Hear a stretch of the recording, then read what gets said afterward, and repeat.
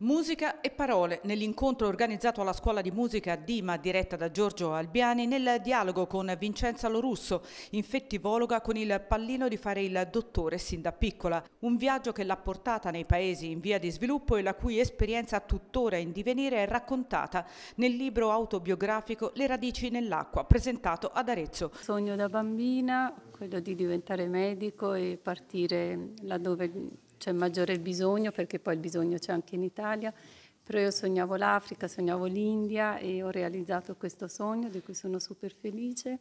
e sono stata anche contenta di condividere con la gente qui questa mia avventura. Un bel momento anche ricco di emozioni forti e scambi con i medici aretini Danilo Tacconi, primario di malattie infettive dell'ospedale San Donato di Arezzo e Marcello Caremani, suo noto predecessore e maestro.